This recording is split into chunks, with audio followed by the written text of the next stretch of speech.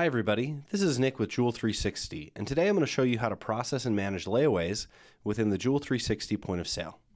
So the very first thing I'm going to do is actually head to my settings area, and I'm going to make sure that all the defaults I have set for layaways are everything that I'd like to use in my store. I'm going to go ahead and go to point of sale settings, and then layaways. Here I get to do several things. For instance, setting a default deposit amount, setting a minimum purchase amount of either the item price or a transaction total, my default payment, so I'm going to say monthly, uh, the typical term that I'd like to do, so pay over six months, you can set that here, and then any additional fees that I'd like. This reserve inventory section is interesting. What this enables you to do is decide whether the inventory is counted as reserved during the layaway or if it removes it from your inventory. This is valuable when you're trying to determine the inventory value for your store. I'm going to go ahead and leave the reserved as unchecked. There we go, I've got those saved. So now I'm going to head back to the register and I'm going to pull in a customer. So for right now, I'm just going to go ahead and add myself. Once I've opened the customer, I'm going to come to the customer actions over here on the top right and open those. And then I'll see this section for layaways. I'll go ahead and hit this plus symbol right here and it's going to pull in everything that I'd expect. So, for instance, it's going to pull in my default deposit of 20%. My payment term is monthly, um, and it also pulls in the customer, as well as the pickup date um, will automatically be populated here. Then I can go ahead and select the items that I'd like to put on layaway. So I'm going to go ahead and just pull in this necklace.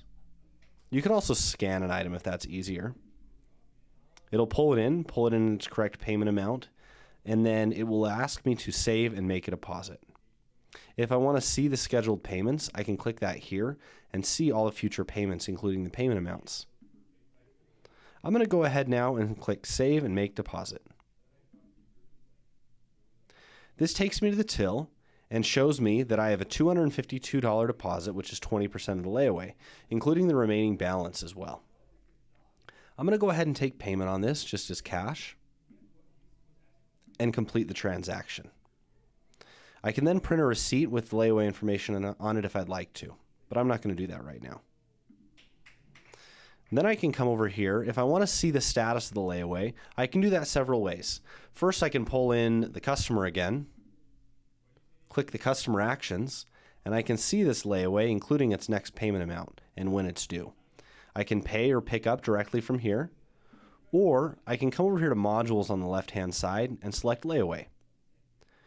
This lets me see all the layaways at my store and their status. This is really useful when I'm trying to identify late layaways that I need to reach out and follow up with the customer on, um, as well as see any that are ready for pickup.